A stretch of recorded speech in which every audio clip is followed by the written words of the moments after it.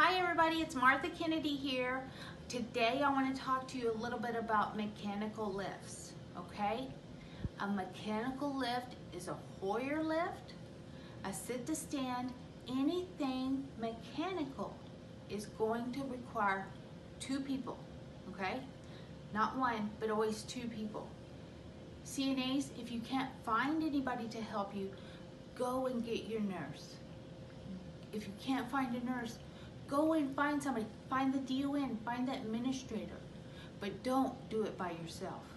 The patient might be waiting and they really want it done and but trust me, trust me, it's better for the patient to wait a few minutes or to, you know, than to have somebody get hurt.